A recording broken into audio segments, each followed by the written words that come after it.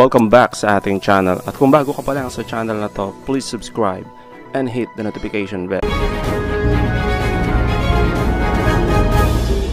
Iwala po ako na meron pong sabihin na natin eh pumipigil, okay? Na pharmaceutical o di kaya eh mga ilang opisyal, malamang, posible, hindi ko sinasabing totoo, pero kasi ho nangyayari ho talaga yan. Di ba yung kinikwento ko nga yung pinanunood kong dokumentary? Ano, nakalimutan ko na anong pangalan nito sa Netflix eh. Ang kanyang inaano, yung uh, plant-based diet. Tapos ni-research niya lahat ng mga institution sa Amerika, Amerika to ha, na may hawak ng mga cancer, ng mga website, mga diabetes website, yung mga ganyan, mga nakita niya sa bandang dulo, tiningnan niya kung saan nanggagaling yung funding. Nanggagaling yung funding sa mga meat industry, dairy industry, ibig sabihin yung mga ano, mga meat ha. Tapos nanggagaling saan. Tapos nung tiningnan nila, ano yung suggestion nung uh, website na yun, kung ano yung tamang diet sa may mga diabetes o sa may mga sakit sa puso. Alam niyo nakalagay doon? Mga karne. Tapos nagtataka siya, paano nangyari yun? Eh based on science, tiningnan niya eh based on science, sa mga scientists, ang laki ng factor na nakakalala ng diabetes ang meat, ang mga dairy products at mga mga eggs, lahat. Nakakadagdag ho yan. Pati sa pag, pagkakaroon ng heart disease. Nagtaka siya. Sinubukan niyang puntahan.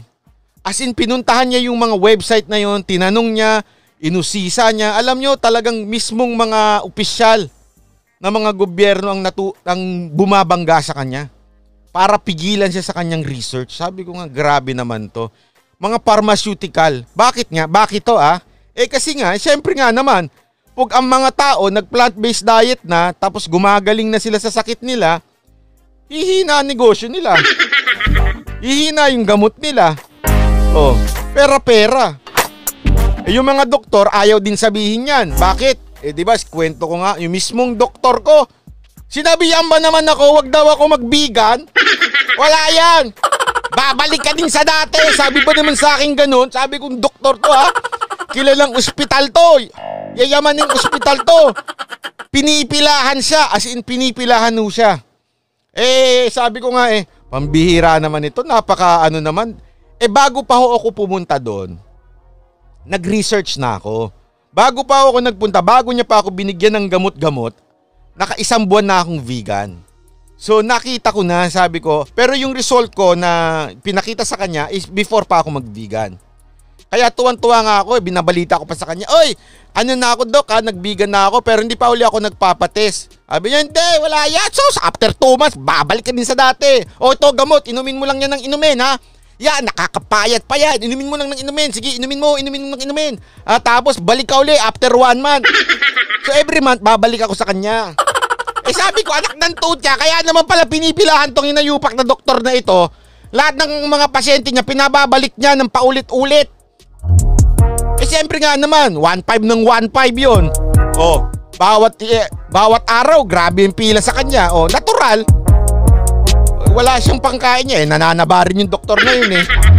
Kaya nga po, in line of that, sa ating usapan, kaya medyo naging open ako dun sa Fabunan. Ang akin kasi, bakit siya kinokontra? ba? Diba? Bakit? Anong problema? At ang kumukontra sa kanya, eh yung mga doktor o may kinaugnayan sa pharmaceutical. Eh baka naman talaga nakakagaling. Baka naman talaga posible na mabawasan ng kita ng ibang gamot. O, di ba? Hindi ho natin alam. Hindi pa ho natin mahusgahan. Antayin na lang ho natin. Antay ho ah, hindi ko sinasabing effective pa po. Antayin po natin. At sana ko nga, sabi ko nga kay ano, Super Mario, sabi ko sa kanya, eh, sana soon ma-aproba ng Indonesia. Kasi pag nag-aproba ng Indonesia yan, eh, pwede nang i-import dito, di ba? Bibili na ako, papaturok na ako. Alam niyo po, ito ha, pansinin niyo, 'Di ba sa mga Biblia 300 years old, 200 years old, 400 years old, yung iba pa nga mala- mas mataas pa. Kasi nung 1980s po, may mga kamag-anak ako. Normal ho sa mga relatives ko ang umaabot ng 100. Ito hindi ako hindi ako nagbobola ha. Yung, yung lelang ko pa nga nun eh. Yung lelang ko, eh meron siyang nanay. Buhay pa. Lelang ko na siya, may nanay pa siya, buhay pa. Ang tawag namin doon, lelang lambot. Ito, ito mga kamag-anak ko, alam yan. Kasi yung lambot-lambot na nandito niya, kaya lelang lambot na siya. 100 plus na ho siya. Kahit yung lolo ko, ay yung lelong ko, eh 90 plus, bago siya namatay. Pati yung lelang ko. Ganun no. Lahat ho ng kamag-anak ko noon, mga, mga Ilocano ho, kasi oh, mahilig ho sila sa gulay. Sa tatay ko ako natuto maggulay eh. Kahit pechay, kinakain ng sariwa. Pambira oh. Sa bagay, masarap ang pechay na sariwa. O, di ba oh, totoo, ganyan eh. Tapos, nung 2000 na, ito, ito, itong panahon ngayon, marami na ako kong kaibigan, 30 plus pa lang, na-stroke na. Iba nga namamatay ng 30 plus eh. Ay, sorry, sorry. Ba't ba ako tumatawa? Ano ba yan? Na-stroke na nga, tumatawa pa.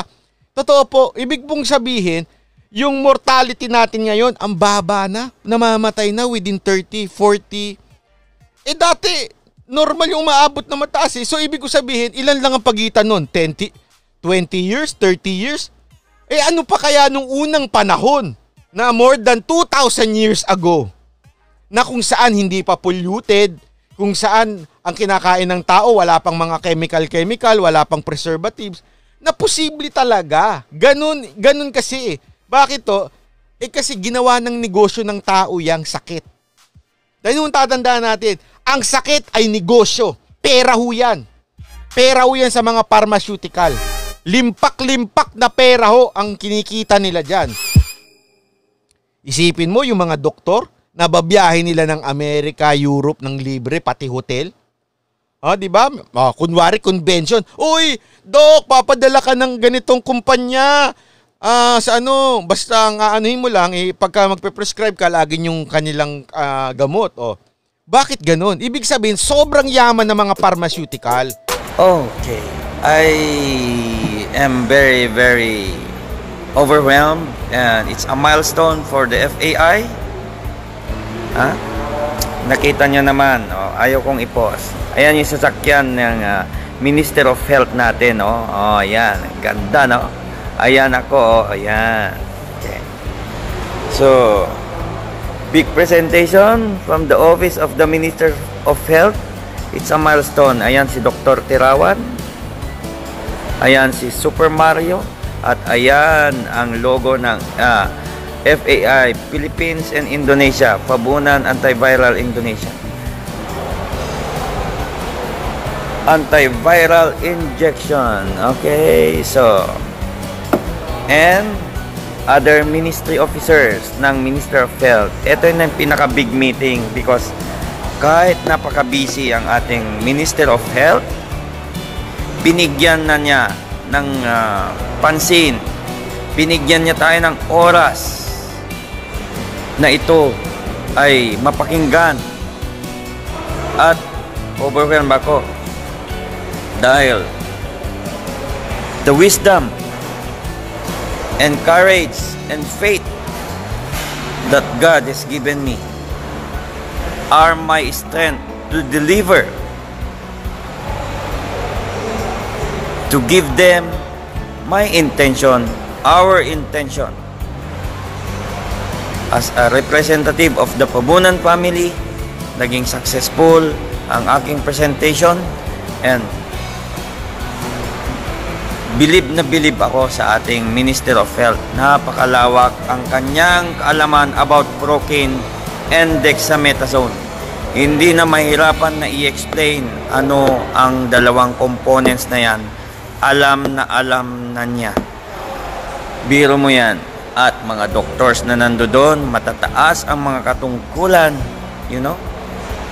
Napakaganda. Napakaganda ang deliberation all are smiling. Talagang convinced sila sa kakaibang very unique sabi nila. This is a very unique invention by the Pabunan doctors. Alam mo si Dr. Tirawan inexplain pa nga niya yung mga mga benefit ng procaine at mga benefit ng dexamethasone. Wow, ang galing. Salute you, Dr. Tirawan. Talagang ikaw nga ay talagang ah, karapat dapat na maging Minister of Health ng Indonesia. Long live, Dr. Tirawan. Thank you for trusting our technology at binigyan mo ng pansin. Okay? So wala akong sinasabi na patapos ah, but we will do it the right process, may protocols, but ang pinakamaganda dito, hindi nangyari sa Pilipinas ito, pero nangyari sa sa Indonesia. This is the best thing that happens na talagang nakipag-collaborate even the Minister of Health and their doctors, of course, and other doctors. Okay? Yun ang napakaganda. So, ah, napakaganda dahil, of course, three points na lang. Possibilities, FAI antiviral injection, thumbs up, done. Consider it done. Praise God. Fabunan antiviral injection, consider it done. Immune booster, consider it done. Thank you, Lord.